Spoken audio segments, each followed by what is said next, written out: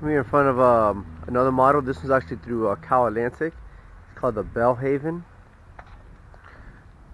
Let's check this out. This one I think is a townhome.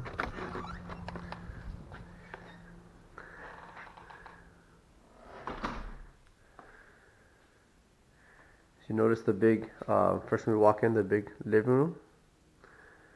We have the table, granite countertops. So if you're not really looking for a house, this is a townhome here in uh, Fishhawk West. If you notice the beautiful inventory. Thanks. I like that. So the master bedroom is downstairs. Um, this actually is, um, I was talking to the gentleman here. This is very popular with retired military because it's a fishhawk community. And the master bedrooms are downstairs. You see, you walked into the bathroom here from the master bedroom. Then we have a Nice closet, ample size.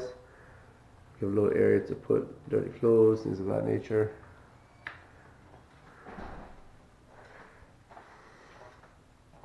The master bedroom.